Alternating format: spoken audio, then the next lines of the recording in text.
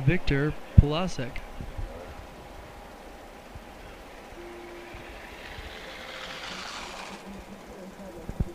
Oh, he's got some height. Nice. That was a great jump. Viktor had a good first round and a great second round jump.